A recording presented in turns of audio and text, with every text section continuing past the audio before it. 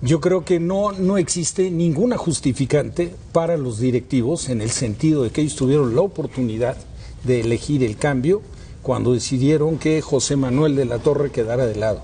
Primer error y primera injusticia haber utilizado a Luis Fernando Tena para el partido contra Estados Unidos. Y después, bueno, ellos toman la decisión considerando que tiene el perfil idóneo para dirigir a la selección y sacarla de esa problemática que viene viviendo. Yo al margen de los resultados que me parece que por encima de lo que pudo haber sido una victoria un tanto inmerecida, en mi opinión, contra Panamá con el golazo de Jiménez, una mala actuación del equipo mexicano, se volvió a repetir la mala actuación y no le alcanzó ni siquiera para empatar y el resultado de Estados Unidos lo mete. No es bueno el balance, sobre todo en lo futbolístico, Así es. pero las formas me parece que no son las correctas. Dice Héctor Huerta Bucetich que no se puede evaluar un técnico por dos partidos. Sí, bueno, también la situación de estado de emergencia que vive el fútbol mexicano no permite mucho tiempo.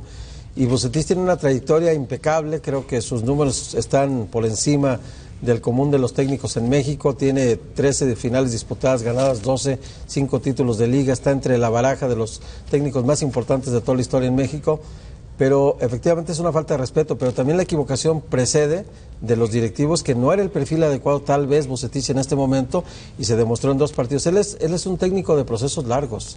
Entonces, en un estado de emergencia, en procesos muy cortos como este, se necesitaba la personalidad tal vez de otro técnico. Él dice. Sí tiene personalidad él. Dice, Claro, me, no me grita ni dice, nada, pero- me dice el rey Midas, pero no soy No Dios. soy- no Dios, soy claro, Dios. claro. No puedo arreglar un proceso tan difícil y tan complicado como está el de la selección nacional en poco tiempo. Claro, tiene razón. O sea, ni los magos hacen estas cosas, pues. Pero también hay que reconocer que la selección mexicana en los dos partidos, el de, el de Panamá lo sacamos de milagro, la verdad, por el golazo de Jiménez, ya para finalizar. Correcto. Y el otro se perdió 2-1 y se pudo perder 4-1, tranquilo. ¿eh? Ahí le Sí, preguntan si, tuvieron, si tuvo malos resultados. Dijo, bueno, es una experiencia. 50 y 50, dijo.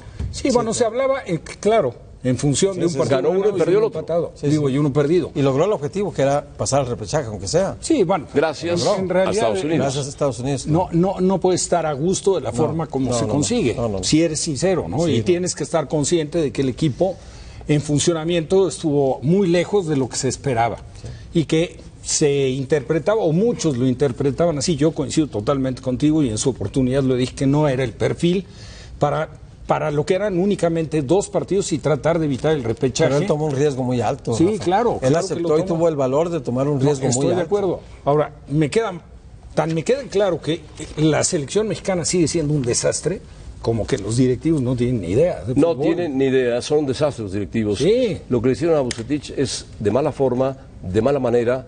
La forma de despedirlo es muy ingrata a un técnico que ha tenido un éxito inusitado en México. Y además dice, ¿cuál fue el argumento? El argumento que me dieron fue, y la decisión, que era desesperada.